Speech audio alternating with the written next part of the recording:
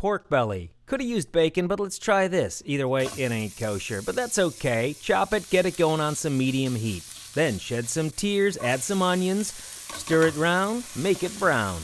Uh huh. Add a large chopped apple onto a package of Brussels sprouts and potatoes. I'm using fingerling, but you could go with sweet potatoes. Looking good. Let's pour this on the veggies too. And let's get some chicken thighs, about four or five, skinned down. Now add some bone broth to the veggies while they're cooking.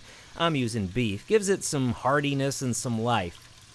Back to the chicken, I did add some fat since the pork belly didn't really make much. I like grapeseed oil, especially with high heat. Then place these in the pot. Everybody into the pool.